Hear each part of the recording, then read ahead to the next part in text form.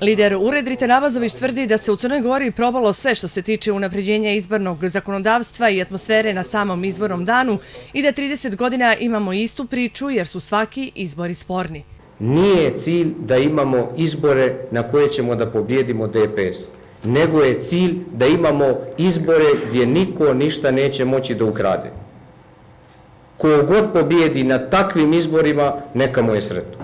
Abazović dodaje da je ključni problem što Crna Gora nema mehanizme za sprovođenje i kontrolu zakona i da su nam u takvoj situaciji uzalud i najbolji svjetski modeli.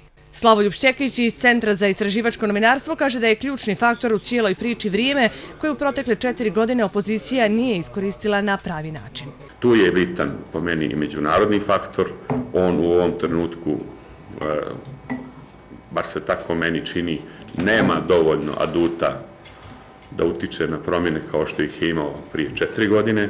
A koliko je bitan udice međunarodnog faktora, Zoran Miljanić iz Civisa ilustruje upoređenjem vlade izbornog povjerenja koju smo imali u Crnoj Gori i one u Makedoniji, koja je formirana pod uticajem Evrope i Sjedinjenih američkih država. Razlika između te tehničke vlade i ove naše tehničke vlade je što je ta tehnička vlada imala sve poluge vlasti.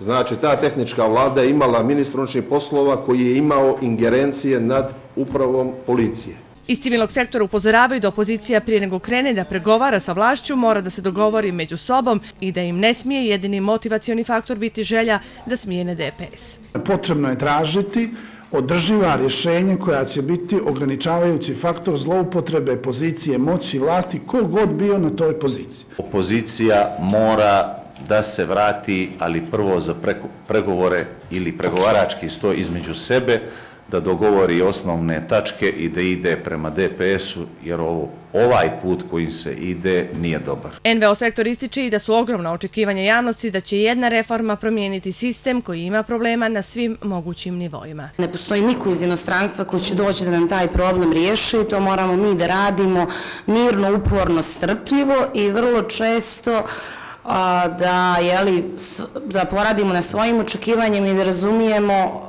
da se reforme ne dešava za jedan izborni ciklus.